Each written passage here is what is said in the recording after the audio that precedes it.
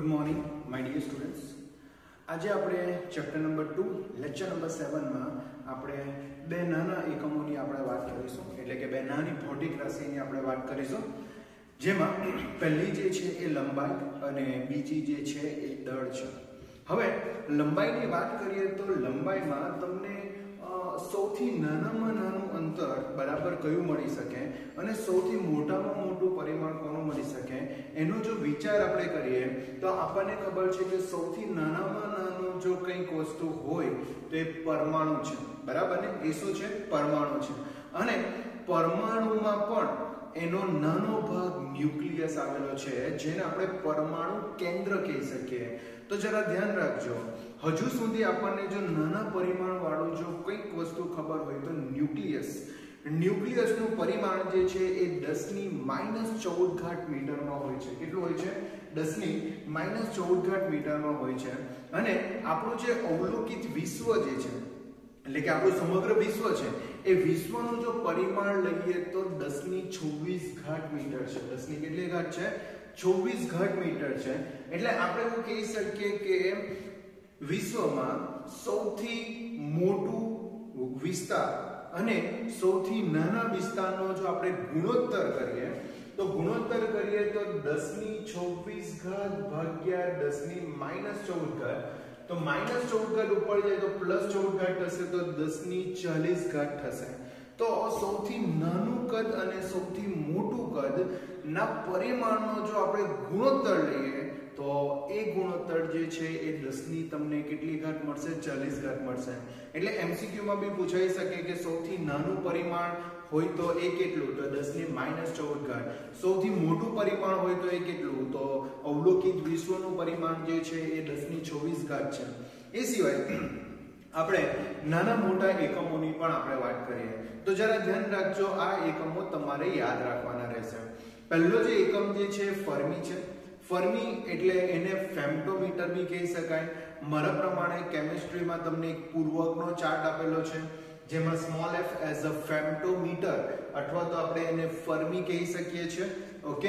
અને એની વેલ્યુ જે છે 10 ની માઇનસ પંદર ઘાત મીટર છે. તો ધ્યાન રાખજો one fermi equal to ten raise to minus fifteen metre બીજું, આ વન એંગસ્ટ્રોમ કશે તમને આવ્યું નથી, પણ કદાચ પ્રકાશની તરંગ લંબાઈ માપવાની હોય, તો એમાં એંગસ્ટ્રોમ વર્ડ યુઝ કર્યો હશે.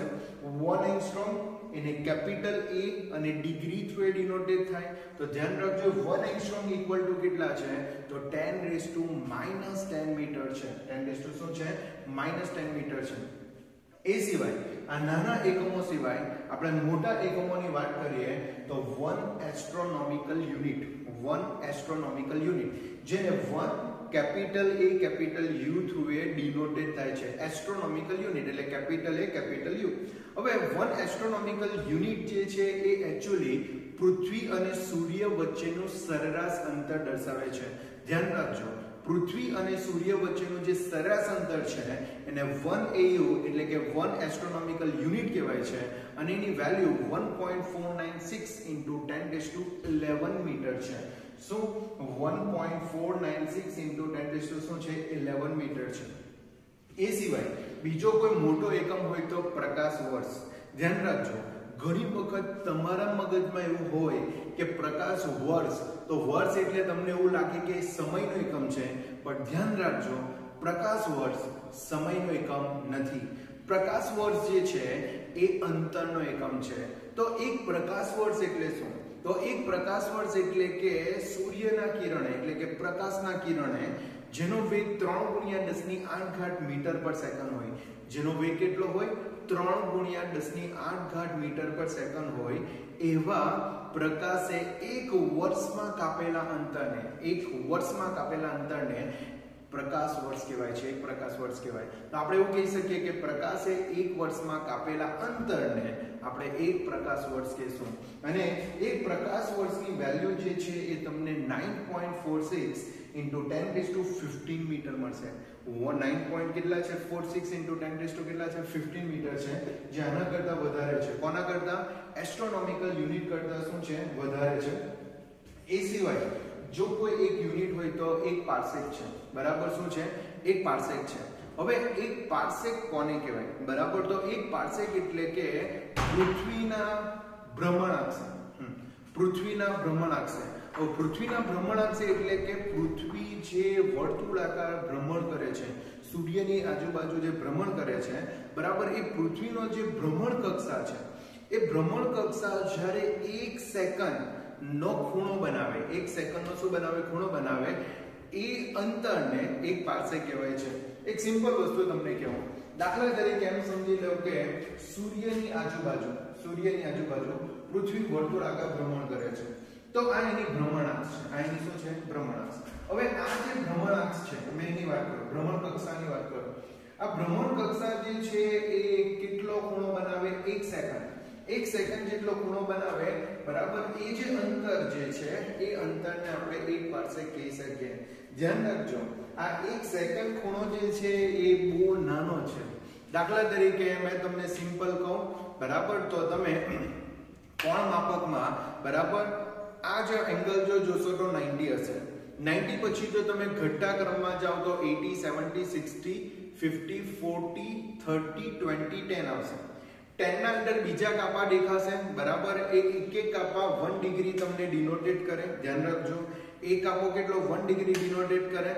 અને 1 સેકન્ડ છે. તો આ જે 1 ડિગ્રી છે, એનો કેટલામો પાર્ટ ખબર? 3600 મો પાર્ટ એટલે કે 36મો ભાગ. એક ડિગ્રીનો 36મો ભાગ તમારો એક પાર્સેક થાય. એક ડિગ્રીનો કેટલો? 36 3600મો ભાગ. 3600મો ભાગ એ તમારો શું થાય? એક પાર્સેક થાય. તો તમે વિચાર કરી શકો, એ અંતર ઘણું મોટું હશે. એ અંતર શું હશે? ઘણું મોટું હશે. બરાબર? પૃથ્વીની ભ્રમણ કક્ષાએ એક સેકન્ડ આટલે એ અંતરને આપણે એક પાર્સેક કહી શકીએ.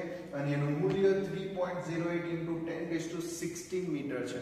3.08 into શું છે? 10 to 16 મીટર છે. તો આ તમારું લંબાઈનો વિસ્તાર થશે. તો જરા ધ્યાન રાખજો. લંબાઈના વિસ્તારની વાત કરીએ, તો સૌથી નાનું માપ આપણે ન્યુક્લિયસની લીધેલું છે. દસની માઇનસ ચૌદ મીટર સૌથી મોટું માપ આપણે અવલોકિત વિશ્વ, વિશ્વનું જ્યાં સુધી અવલોકન કરીએ છીએ એ પરિમાણ લીધું છે દસની ચોવીસ ઘાત અને બંનેનો ગુણોત્તર કરીએ તો દસની તમને ચાલીસ ઘાત જેવું મળશે. નાના એકમોની વાત કરીએ તો ફેમ્ટોમીટર અથવા તો ફર્મી જેની વેલ્યુ 10 ની માઇનસ 15 ઘાત મીટર છે. ઓકે હજુ નાના અંતરની વાત કરીએ એંગસ્ટ્રોમની વાત કરીએ તો 1 એંગસ્ટ્રોમ ઇક્વલ ટુ શું છે 10 રેઝ ટુ માઇનસ 10 મીટર છે અને મોટા અંતરની વાત કરીએ તો